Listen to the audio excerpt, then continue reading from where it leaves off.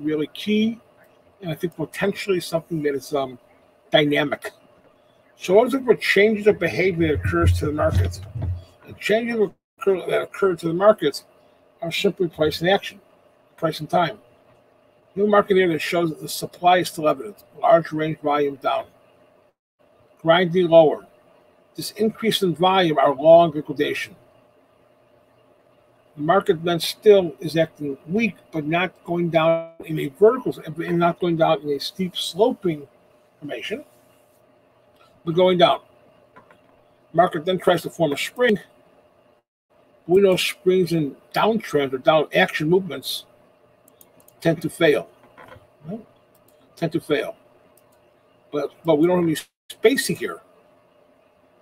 Only five bars. Mark goes up, goes into the resistance area. We, can stop anywhere it stops in here. Not a big deal. Don't make this your ice. Mark comes back down.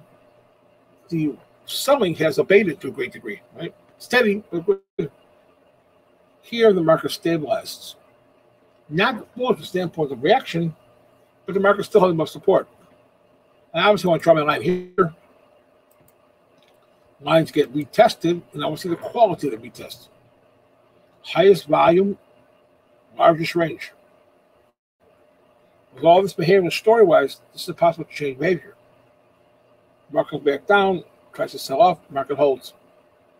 Market comes back up here, no supply.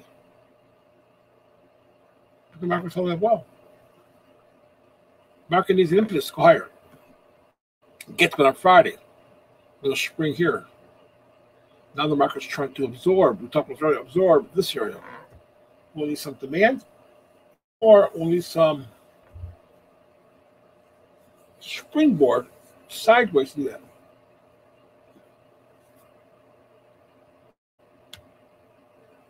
Okay, so the spacing is not here. Spacing across here, and now it's up to the bulls to do this. If this market is supply, let it count much lower. So take that. We take our lines. Voila. Take that across. The objective to me is here. 41.75. This is our reverse trend line.